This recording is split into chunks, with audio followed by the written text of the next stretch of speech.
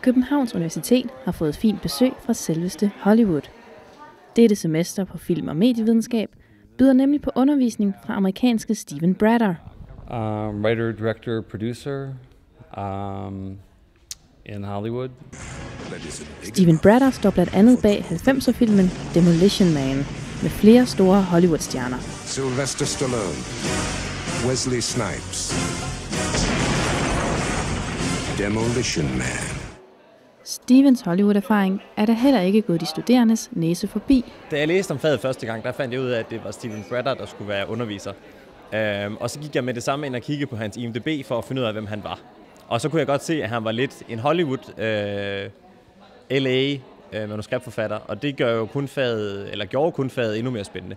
Jeg synes, det lød ret spændende, at man kunne få en, øh, en, en person, som er fra branchen, øh, Steven Bradder, som, som arbejder i Hollywood og selv har produceret øh, ting derovre. Og så kan man selvfølgelig også se det i de film, som Steven vælger, øh, at vi skal undervises i, som er primært af store Hollywood blockbusters.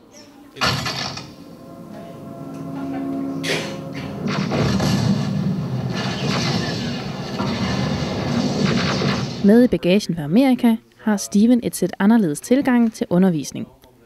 Især i forbindelse med forholdet mellem teori og praksis. Um, well, this is really uh, the theory part is um, just uh, to get everybody to learn it as quickly as possible, so that we can spend the rest of the class applying it.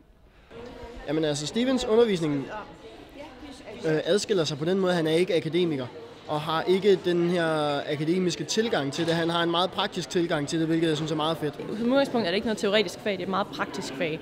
Så det gør hele forskellen, øhm, og det er rigtig interessant at have, netop fordi man er vant til de meget teoretiske fag, de meget lidt tunge fag.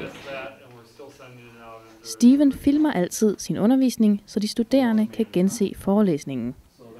Og det har Steven en helt bestemt hensigt med.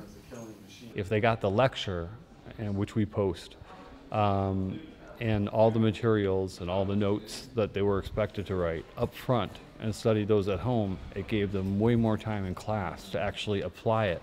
The students have learned most of 80% of the theory, and uh, we spend about 80% of the time now in class applying it to all the different films. Stevens undervisning fortsætter også uden for klasselokalerne.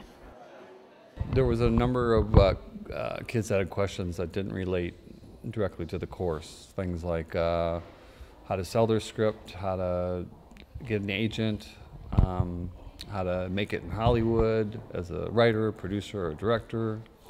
Um, other kids wanted to go in depth into the project that they were working on.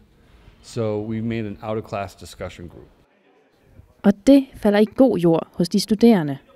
Øh, det er jo fantastisk, øh, og det er jo også det betyder jo også, at den slags ting ikke er en del af undervisningen, øh, som man kan vælge til, hvis man er interesseret i at høre mere. At vi kan komme til ham uden for undervisningen, og han holder de her out-of-class sessions, hvor vi øh, øh, mødes her på øh, Café Mødestedet, og, og hvor, hvor vi kan sidde og diskutere ting med ham, og vi kan, vi kan komme med vores øh, idéer til vores manuskript. Så jeg synes, at han er en meget engageret underviser, meget, øh, han er meget åben og meget villig til at hjælpe os på, på, på alle de måder, han kan. Det, han gider at bruge fire ekstra timer om ugen på os elever, det er altså, eller studerende, det er altså meget rart, fordi at, øh, det viser også en engagement fra hans side. Han er oprigtigt interesseret i, at øh, vi skal lære det her fag.